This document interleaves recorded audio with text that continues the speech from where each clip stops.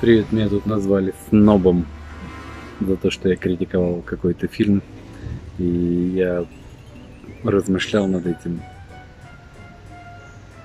Если можно было бы людей разделить на касты, то эм, вот из двух каст таких э, производителей фильмов, книг, э, я не знаю, авторов, так называемых грубо, и критиков, я бы разместил э, сверху более высокая каста художников, авторов, производящих, а более низкая каста, низкое место, нижнее местоположение, пониже располагаются на критики.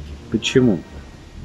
Дело в том, что любой художник, даже если он воришка, даже если он много заимствует, как выражался Кончаловский, я смотрел его одну пресс-конференцию, ему указали, по-моему, про Дом дураков, э, ему указали на то, что его фильм, в его фильме много заимствований э, из фильма Филини.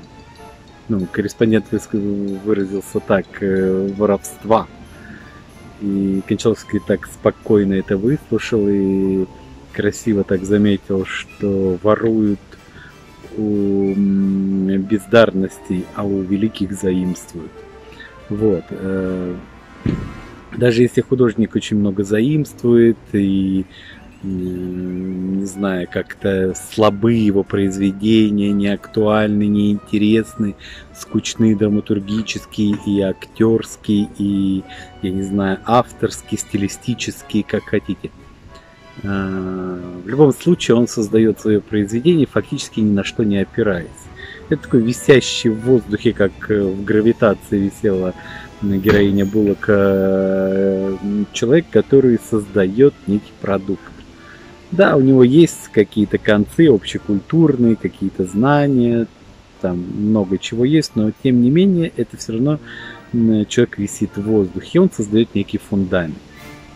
Э, критик, любого рода критик, он э, опирается на этот фундамент и создает произведение свое, авторское, критическое, разбирающее произведение автора, тоже как автор создает произведение, но тем не менее это э, более легкая позиция, да, то есть человек просто встал на фундамент и начинает э, стоя твердо двумя ногами на этом фундаменте разбирать ваше произведение. Поэтому э, я не знаю, как себя видят сами критики разного рода, публицисты от искусства такие, да, которые опираются, разбирая чужие произведения. Но я вижу, я, собственно, не принадлежу ни к тому, ни к другому автору, кругу. По сути, я не такой большой там автор и никакой не критик, естественно. Э, я вижу это так, что э, критик, даже если он злобно критикует самый ужасный, никчемный фильм, книгу, э, я не знаю, спектакль или что-либо другое, он все равно находится ниже э, в своем социальном положении. Даже самый блистательный критик. Вот такая вот история. Не может э, критик быть выше автора. Есть, правда, такие исключения, знаете, такие совсем уже авторы-авторы, когда там переснимают, знаете, какую-нибудь кавказскую пленницу кадр в кадр. Фактически они не выступают авторами, они даже не ремесленники в хорошем смысле, да, это кнопка нажиматели, да, то есть им, они посмотрели одну картинку, выставили другую картинку и нажали кнопку. Не знаю, здесь не вижу я творческого начала такого, да, авторского начала.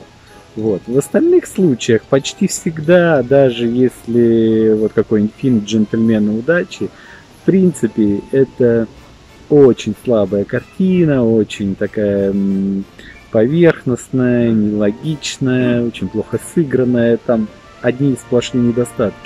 Но тем не менее, это э, она не повторяет известный фильм, она как бы берет его за основу и пытается на этом деле, ну, так сказать, создать собственное произведение. Не выходит, но тем не менее это все равно авторская работа. Вот, поэтому я, может быть, и сноб. Хотя какой я сноб? Я вообще не понимаю, как меня можно обвинить в снобизме. Серьезно? Меня? Червя? Подписывайтесь на канал, ставьте лайки, делайте репосты и пишите добрые комментарии. Ладно, пишите злобные, если уж вам так хочется. Я почти никого не баню. Удачи, пока.